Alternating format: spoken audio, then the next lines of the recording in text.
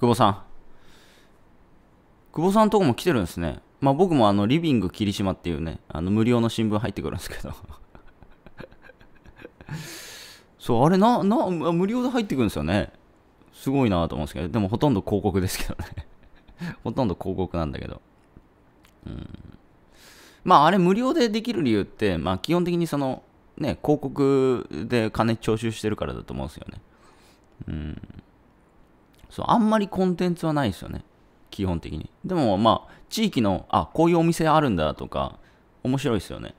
その地域に密着してるんで。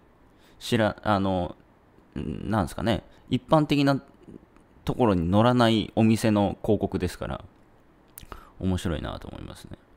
だからまあ、あの、知らせるってことですね。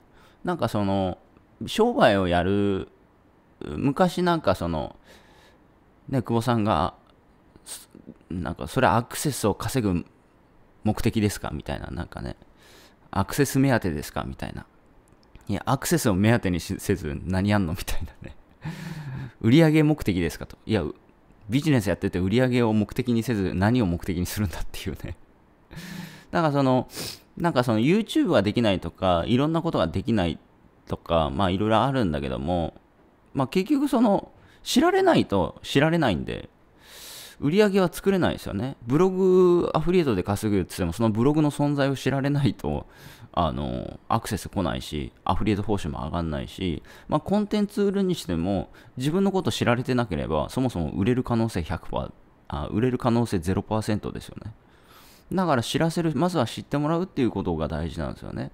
で、僕の場合は再生数がやっぱ少ないので、じゃあ再生数が少ないんだったら、あの数で言って、ちょっとでもね、あのどんなきっかけでもいいと。どんな動画でもいいから、とりあえずは触れてもらう、知ってもらう。で、その中で、あの、興味ある人は、まあ、引き続き見ていただくと。でも、その、知らなければ本当にね、あの、無ですからね。無。知られてなければ無です。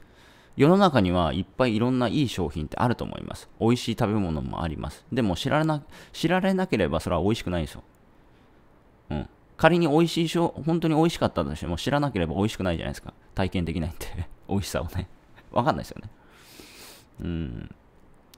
だからまあ知ってもらうことがまず大事ですよね。うん。まあそれがどんな手段を使ってもですよ。どんな手段を使っても知ってもらわなければ、あの、ダメだと。